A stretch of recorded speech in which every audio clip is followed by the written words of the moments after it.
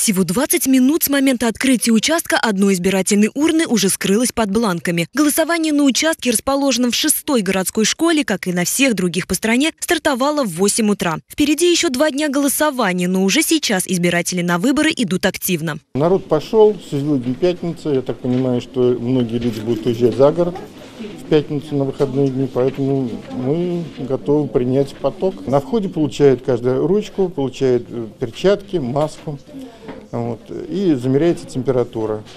Выбираем вместе. Голосование различного уровня проходит во всех регионах России. В эти дни пройдут более 4 тысяч избирательных кампаний. Россияне выбирают депутатов Госдумы восьмого созыва, представителей 39 региональных и местных парламентов и глав 9 субъектов. В Самарской области проходят две крупные кампании – выборы депутатов в Государственную и Губернскую думы, а также голосование в ряде муниципалитетов. В 8 утра свои двери открыли 1804 участка на территории Самарской области.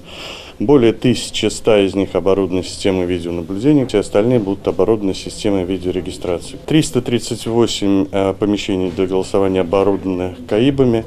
Э, там э, в голосовании будет проходить тоже все три дня. Все три дня бюллетени хранятся именно в КАИБ, в опечатанном виде. И уже 19 числа по окончании голосования КАИБ будет выдавать в автоматическом режиме протокол. Голосовать можно по месту регистрации. При себе нужно иметь паспорт. Своим правом голоса в этом году смогут воспользоваться почти 2,5 миллиона жителей Самарской области. Потому что я живу в России, наверное, и заинтересована в том, чтобы у нас было хорошо. Поэтому я и прибежала. Уезжаю на природу с друзьями и пришел утром перед спортзалом, вот видите, даже с сумкой. Пришло время нас выбирать. По уважительным причинам можно выбирать и на дому. Для получения такого права необходимо лично или через доверенных лиц обратиться, в том числе устно, в территориальную или участковую избирательные комиссии по месту регистрации до 19 сентября. Найти свой избирательный участок можно на сайте ЦИК России. Гульфия Сафина, Григорий Плешаков. События.